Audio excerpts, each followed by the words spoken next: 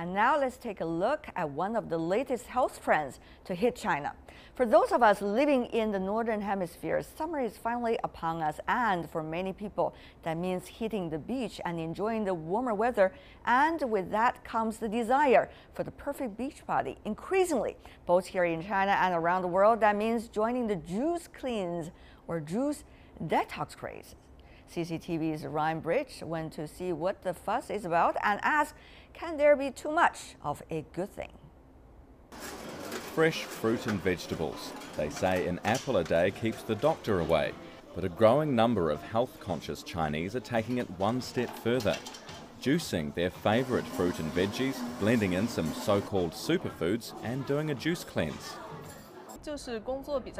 I'm very busy and I tend to eat out often, so it's a healthy choice to do the cleanse. I always feel great afterwards. A young Beijing resident working for an investment bank, Xiao Jing, says she's tried juice cleanses so many times she's lost count and first heard about the concept through one of the many specialty juice cleanse stores opening up across the city and the country. Three years ago, this company opened in Shanghai with one competitor. Last year, they opened in Beijing with four or five. More and more people are interested in juicing. So now people start getting familiar with us, with the concept, and also, of course, with other juice companies. But we're quite happy because now we show up somewhere, oh, yes, we know, we heard about you, we heard about juicing. The juice cleanse industry has grown quickly from humble beginnings and is tipped to be worth $11 billion globally this year, producing 65 billion litres. And China holds over 50% of global value growth and is tipped to overtake the US in terms of market value by year end. A typical day of juice cleansing looks like this breakfast, morning tea, lunch, afternoon tea, and dinner.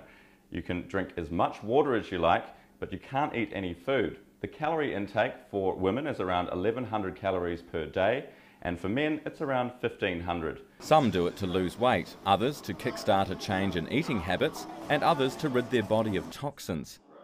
But can there be too much of a good thing? Most juice cleanses last just one to five days, but we've heard stories of people going seven, ten, or even 12 days at a time.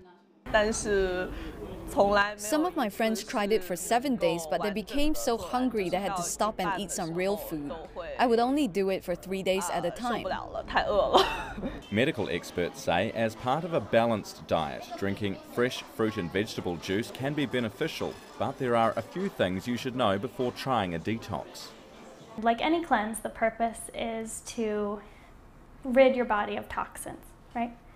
But our bodies actually already have systems in place to do those things, um, such as the liver and the kidneys, our lungs, etc.